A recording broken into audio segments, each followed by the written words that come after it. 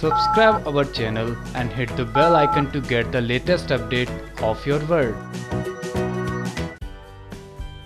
Zee TV के show Kundali Bhagya में देखने को मिलेगा कि इस बार करण और प्रीता का रिश्ता जिस तरह जुड़ा हुआ है, दोनों करीब तो आ रहे हैं, लेकिन नफरत की दीवार इतनी ज़्यादा है कि दोनों फिर से अलग ही रहते हैं जहाँ हम आपको बता दें कि कई खबरों से बात सामने आ रही है कि राखी सबके सामने कह जाएगी कि वो करण और प्रीता को एक करना चाहती है और करण प्रीता पति पत्नी भी हैं।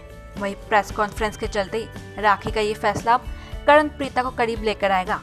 यहाँ तक कि राखी सबके सामने कह देगी वो बात, जिस बात से राखी, करण और प्रीता को एक करवा जाएगी।